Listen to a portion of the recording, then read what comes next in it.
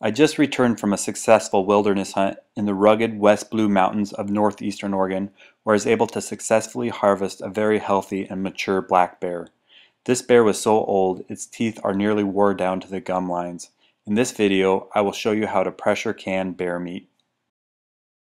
The first step is to cut the meat into approximately 1 inch cubes, taking care to cut away the excess fat, which I'll render into lard for cooking. This spring bear meat has a great flavor and when cooked under pressure becomes incredibly soft and tender which will be great to include in different recipes.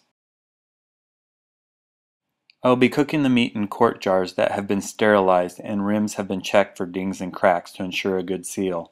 The raw bear meat will be placed directly into the quart jars and packed until about an inch from the top. I then add a half a teaspoon of salt and garlic powder to the meat and cover each jar with a sterilized canning lid that is held in place with a ring. The pressure cooker I use will hold 7 quart jars at a time. It's important to make sure that the jars are not touching each other or sitting against the edge of the pressure cooker.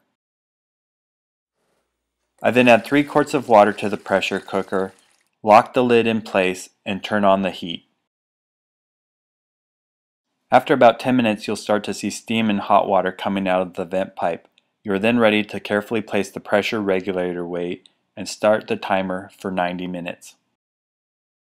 As pressure begins to build in the cooker, the air vent cover lock will pop up and the weighted pressure regulator will begin to move. After 90 minutes of cooking, you can turn off the heat and allow the pressure cooker to slowly cool until the air vent cover lock goes back down.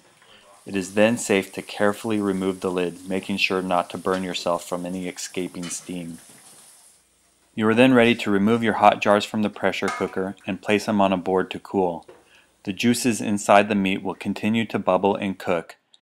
As the jars cool, you will begin to hear the lids pop, which indicates a seal has been formed and this meat is safe to be stored at room temperature for over a year.